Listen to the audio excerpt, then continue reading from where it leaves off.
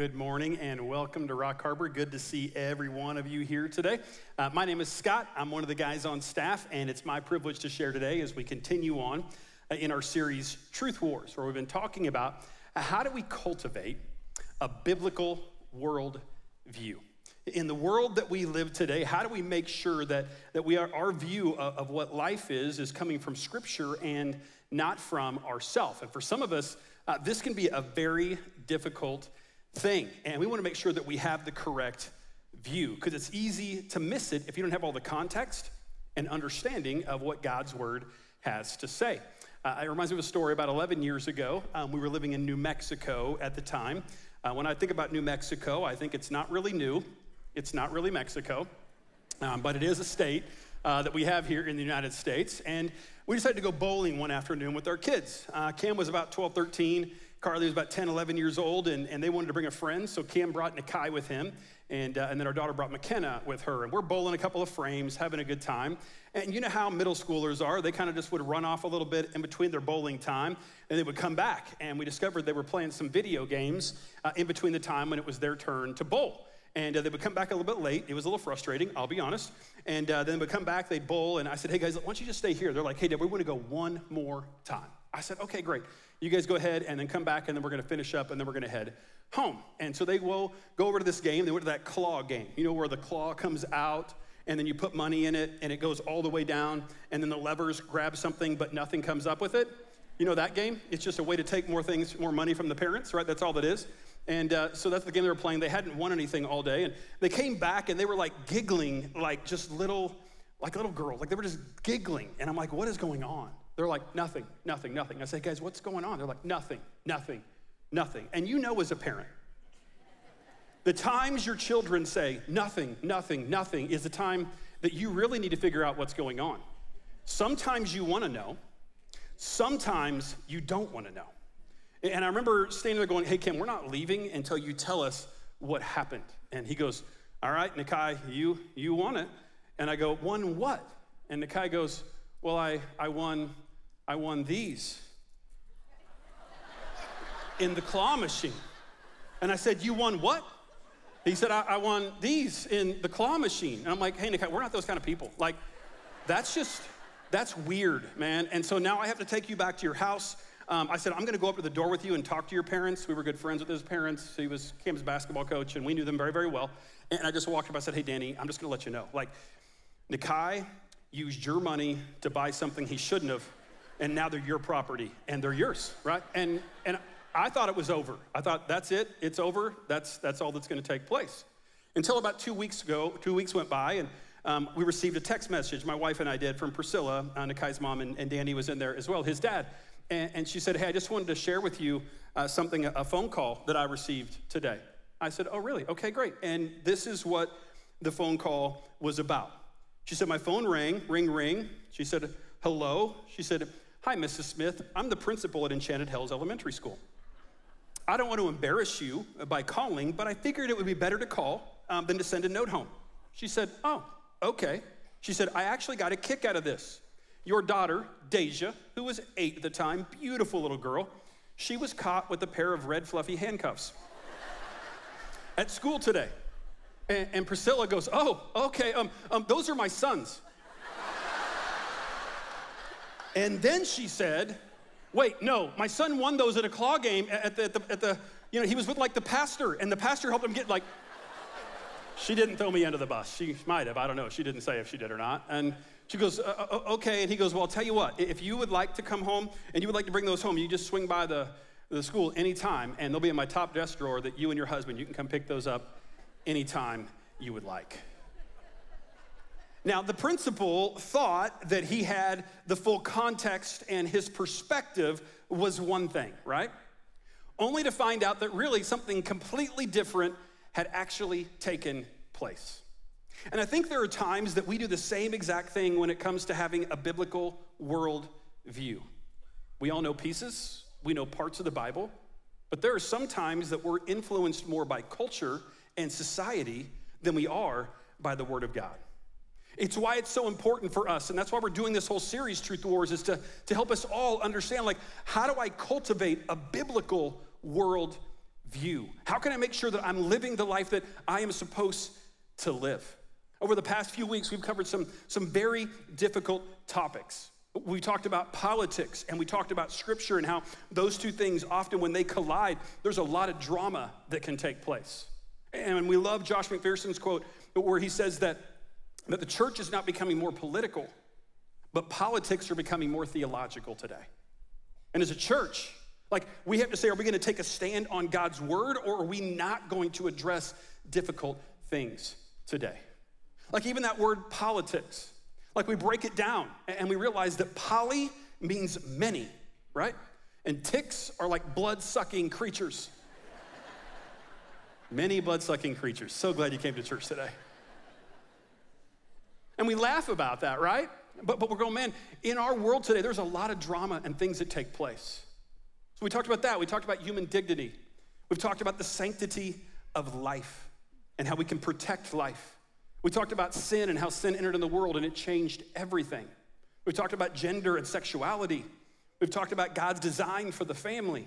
And we've talked about world religions. And then today we're going to kind of flip a little bit. We're going to talk about from Genesis this whole idea of what is our belief on work and our belief on rest. Because these two things, we believe that they affect everything else that we have talked about. Having a healthy understanding and the right perspective from God's word on what he says about work and what he says about rest will inform how we are to live today. And for many of us, this can be a very difficult subject because, man, it can be very, very tense because we all have different relationships. We all have different experiences with work and with rest. And so in your Bibles today, in Genesis chapter 2, we're gonna, we're gonna talk about how God created everything and what everything began to look like, and then how it all shifted just through one simple decision that Eve made. Genesis chapter 2 and verses 2 through 3 says this It says, And on the seventh day, God finished his work that he had done, and he rested on the seventh day from all of his work that he had done. So God blessed the seventh day and he made it holy because on it God rested from all his work that he had done in creation. Now we think about the Genesis story, the account of God making everything. He made the sun, he made the stars, he made the moon, he made the earth, he made Adam, he made Eve, he made all the animals, he made the Garden of Eden. And every day when he was done creating, the Bible says that God looked at it all and he said, It is good. It's good. The Creator looked at all of his creation and he said, This is good. It is right. But for many of us, we, we don't understand, like, how do we get to where we are today? Because this is like a, a, an artist creating this masterpiece where you just step back and you go, look at what the Lord has created. I mean, here you have Adam and Eve, and they're in the garden, and it's perfect. It's exactly the way that God designed it to be. And he worked for six days. And then on the seventh, he rested. And here's what we discover God has built you for work, and he's also built you for rest. He's built you for both. And then he, he, he set the precedent for us by working for six and then taking a day off and then resting. You see, for many of us, rest is a, a difficult thing. Like, we don't know how to rest, we don't know what we should do with that. And I don't believe God was exhausted. I don't believe that he was tired. I don't believe that he couldn't have kept going. I believe that he wanted to show you and I the relationship that we should have with work and rest. Yes, we should be willing and ready to work hard, but we should also put as much emphasis in to rest because in the rest, is when we actually connect with our Savior. In the rest is where we actually trust Him to take care of the work that we have done and trust that it's all His anyway. And if we're not careful, we can make, our, make it about us. Have you ever completed a project and you step back and you go, This is good?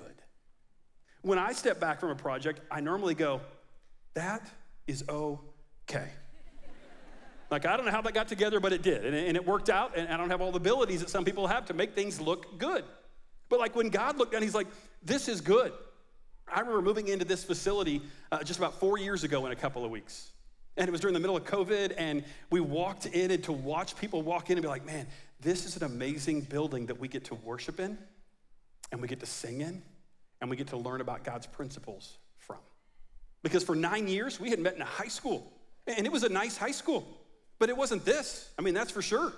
I mean, it kind of you're, you're kind of cleaning out the lockers and cleaning out different things to make it look good for church on Sunday because it didn't smell quite right in certain places there. Like now we can actually control some of those things. We, we can control what some of those things like. We, we couldn't do that before. But I remember walking in here and being like, man, seeing the seats filled, knowing that they had been prayed over, knowing that, that God was going to do a work and a move in people's lives and hearts like we had never seen before. And now we look at it, we're just like blown away by what God has done in just a few short years. And it's easy to look back at that and go, man, look at all the things that you have done. You see, for work, for us, it's meant to be meaningful, it's meant to give us purpose in this life. And, and we realize that our work is not for us, but our work truly is for the Lord. But also, it's this idea of rest that God modeled for us, reminding us that life isn't about endless productivity. Sometimes we need to breathe in and like take in all that God is doing, which helps us understand the second part of this whole idea of work and rest. We understand that man, mankind, it broke work and it broke rest. In Genesis chapter 3 and verse 17, the Bible says, And to Adam he said, Because you have listened to the voice of your wife and have eaten of the tree of which I have commanded you, you shall not eat of it. Cursed is the ground because of you. For in pain you shall eat of it all the days of your life. Thorns and thistles it shall bring forth for you, and you shall eat the plants of the field. But the sweat of your face or your brow shall eat bread, till you return to the ground, for out of it you were taken. For you are dust, and to dust you shall return. You see, when we look, apply this to our life, we realize that because sin entered into the world, it changed work for you and me. And this is the whole idea that, that God was setting out for us is that work and rest are as important, but, but when we understand about having a biblical worldview today, it's understanding like, why do we work the way that we do? Because we understand that, that back then, that when God created everything, everything was perfect. And Adam and Eve, they were just to oversee the garden. That's all they were supposed to do. Like just be there and to be in paradise. But because sin entered into the world, the Bible says that you will have the sweat from your brow and you will end up toiling in the soil. And it's going to be hard to grow things up from it because of sin entering into the world. And that's how sin works, right? Like you think about Adam and Eve in the garden. They, you can do anything you want to do in the garden. You can eat of anything except for this one tree. You can you have dominion over the animals, you have dominion over the land. Everything is fruitful, everything is multiplying. You can do anything you want except for this one tree. Just don't touch or eat from it. And this is how Satan works today with sin. You see, the first thing that, that we see is, is that there's a temptation that comes in front of us. Eve was tempted. The snake, the serpent came and started talking to her, which should have been your first clue. Like, snakes start talking, deuces, I'm out. Like, no thanks. Starts talking to her and telling her it's okay. And she begins to become tempted with actually sinning and doing something that she shouldn't do. And then what she do? She goes and she involves Adam in this. So there's some temptation. Well, now there's a hesitation to just kind of check out what's going on and should we do this or should we not? And it went from temptation to hesitation to participation. Temptation, hesitation, participation. The model that Satan has used for sin from day one hasn't changed. The same is true for you and I today. Temptation comes our way. We have to decide am I going to stand back from that and say, Get thee behind me, Satan, or am I going to listen to things that I shouldn't listen to? And just by listening may be enough of a hesitation that we end up participating in that sin at some point and at some time. that's what happened for Adam and Eve. They, they began to participate in this. And, and as they participated, everything shifted. Our, our worldview shifts because it's like, now I understand why work is so hard, why it's so difficult at, at times. And it continues to change through the generations. I mean, we think about the baby boomer, boomers. Like those who were baby boomers, they, they were hard working individuals. I was reading about it a couple weeks ago, and they said that most baby boomers in their prime working years, they were working 50 to 60 hours a week. That was just the standard. That was just normal for them. They just worked and they worked, and they were loyal to their company. In their prime working years, that, that they, they would typically stay in a career or actually at a place for eight years and three months.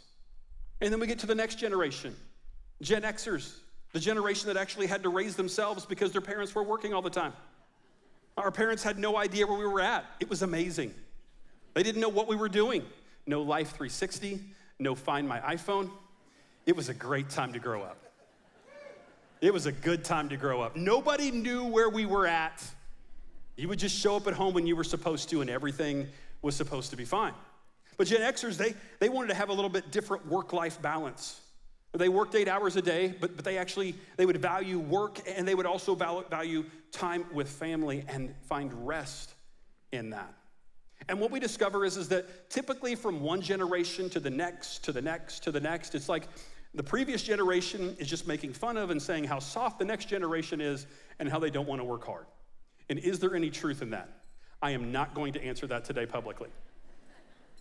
We know this is a struggle for us because Gen X, it leads to the millennials. The millennials, uh, they, they actually stay only two years and nine months at a job typically.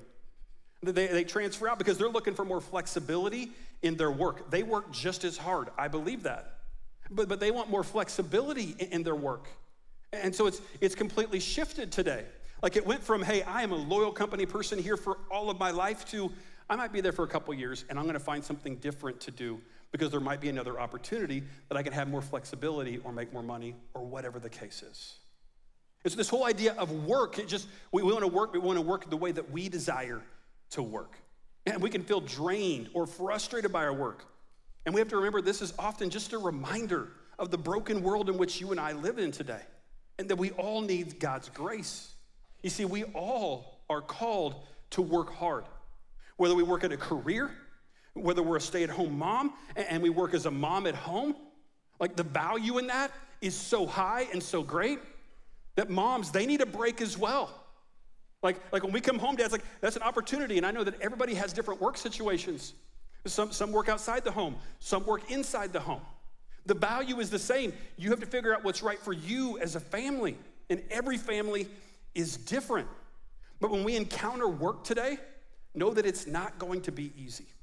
He says in verse 2 of Genesis that, hey, thistles and thorns are going to spring up. The soil is going to be hard. It's going to be hard to actually produce something from. And so, this work that we're doing, we're toiling, and it gets frustrating after a while.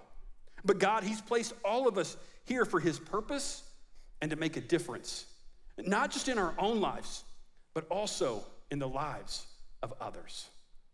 And the third thing that we discover today is that God blesses us through work and He blesses us through rest. Some of you are going, My work is not a blessing to me, Scott. Nice try. For some of you, it's not. For some of you, it, it, it is a blessing. You, you enjoy it. Verse 3 says, And then God blessed the seventh day and made it holy. Why? Because He rested from all the work of creating and all that He had done. Don't raise your hand. But do you ever feel guilty when you rest? You ever feel guilty for just sitting back and, and resting and needing a break? You see, God's command for rest is not a suggestion. You know what it is?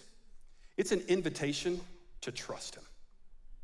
It's an invitation to say that you working five, six days a week, you'll accomplish more than working every single day of your life. Because we all need a break. But Sabbath, true Sabbath, is countercultural to our world today. We live in a world that says just keep pressing forward, keep moving on, don't take a break, just keep going. But work, work is not where we find our value. We find our value in the Lord. And what rest is, true Sabbath, it's the opportunity to reconnect with our Savior. It's to say, you know what? I have so much going on, I need to catch my breath. I, I need to take a break. And after the Lord worked for six days creating, he says, Then I made it holy. I said, It's holy, and he rested. You see, if God takes a day off, maybe we should follow that model as well and take a day off. I mean, all the work that he had done, could he have kept going? Of course he could have kept going.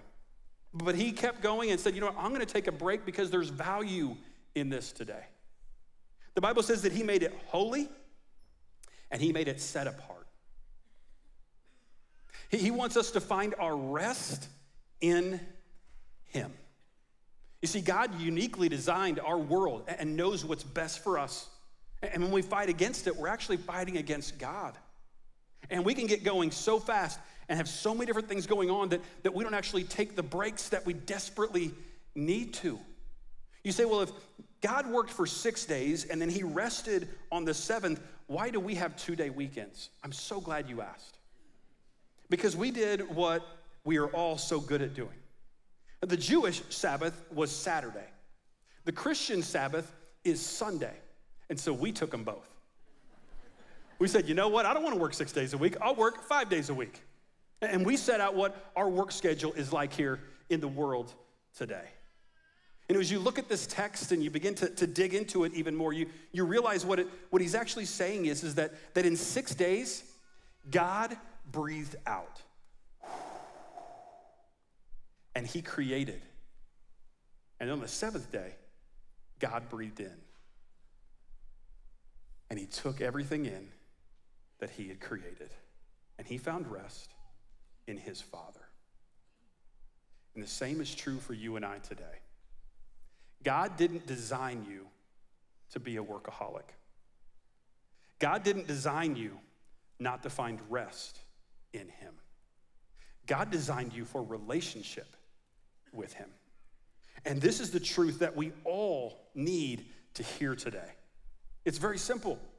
Some of you are here today and you need to learn to work. You're like, I'm so glad I'm here. You need to learn to work. Some people don't know how to put their hand to the plow and actually get work done. I used to work for a, a, pastor, and he used to say this all the time. He said, You know, if you want to get ahead in life, all you have to do is work because you have so little competition. Nobody wants to work today, and they don't want to work hard. Now, there's a lot of hardworking people here. I, I know that. But there are some. Like, you need to get up and you need to get going and you need to work.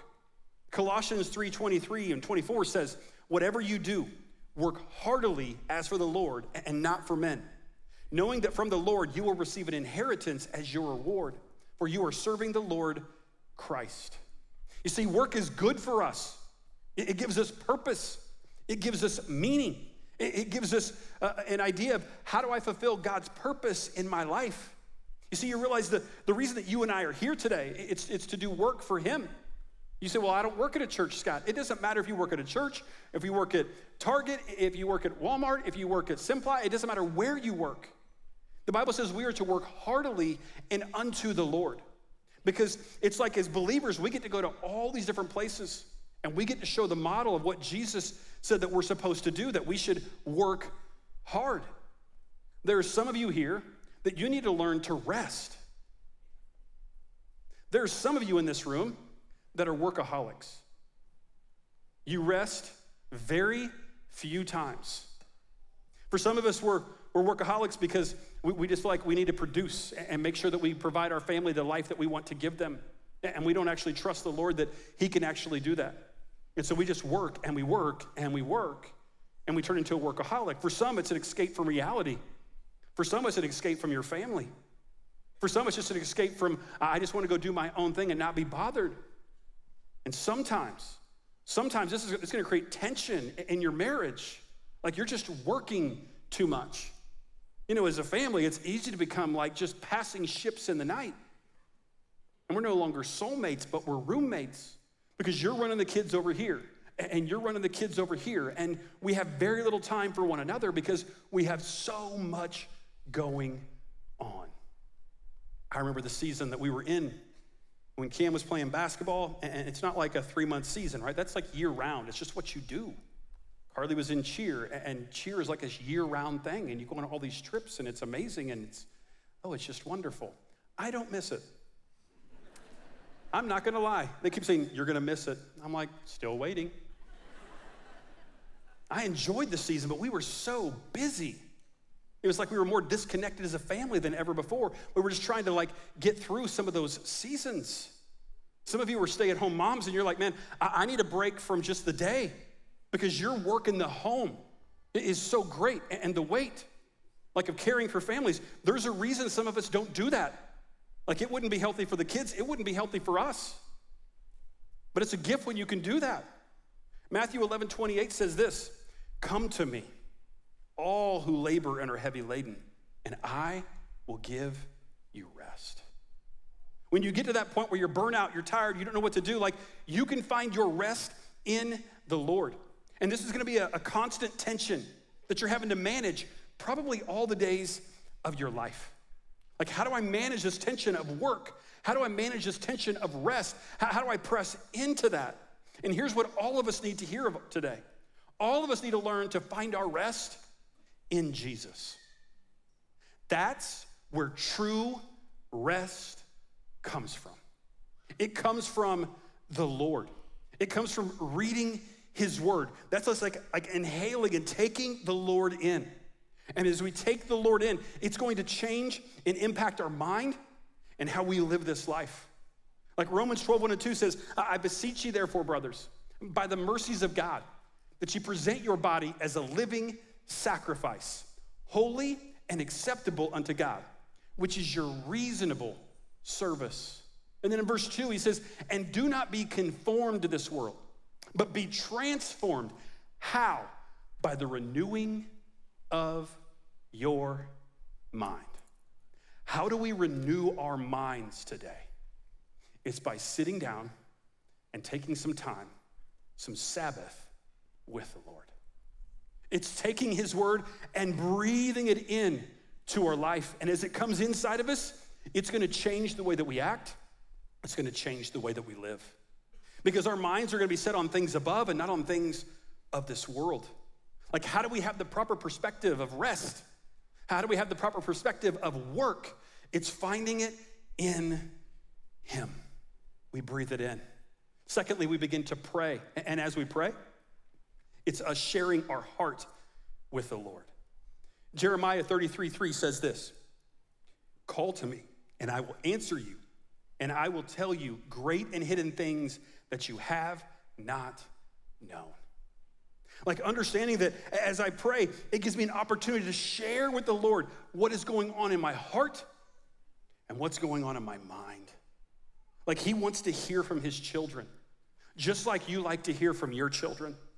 God the Father wants to hear from you. He wants to hear what's happening in your life. You see, we find rest in, in His Word, we find rest in prayer. And for some of us, we also we find rest in some of the pleasures of life and activities of life that we actually enjoy. Like for me, I, I enjoy windshield time. I enjoy getting away from traffic and getting out in a car and driving faster than I probably should and enjoying that time together. Like that's a beautiful way for me like to find rest. When I'm out at a, a sporting clays course with a shotgun in my hands and a couple of friends, like I find rest in that. That's enjoyment for me. Like it recharges my batteries. Also for me, spending time with joy, that's my wife, brings me joy. That's so cheesy. Like more time with joy for me brings me more joy.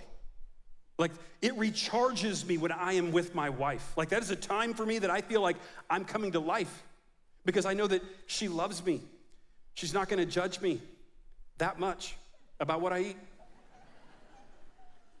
Like she is life giving to me. She's a gift that God has given to me. And you know, I think about this week in particular.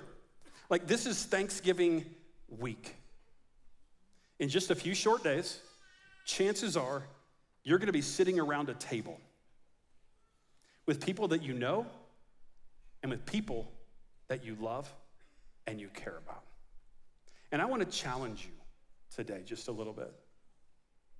You know, Thanksgiving is an awesome time to sit around and just talk about what God has done and to be thankful for all that He has blessed us with. But for many of us, this can be a tough time. We get around certain family members. Maybe you're that family member. And tension just starts to rise.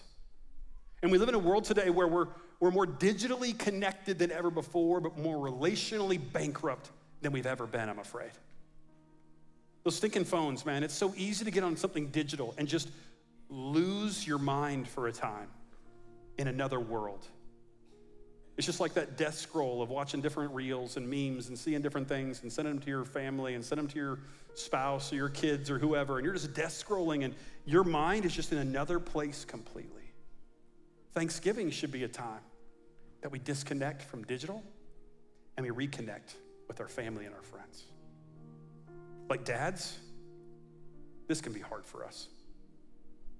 Moms, this can be difficult at times. Kids, your parents want to spend time with you. Our son's coming home this weekend, and when they don't live in the same state, boy, it changes the perspective you have on holidays really, really quick.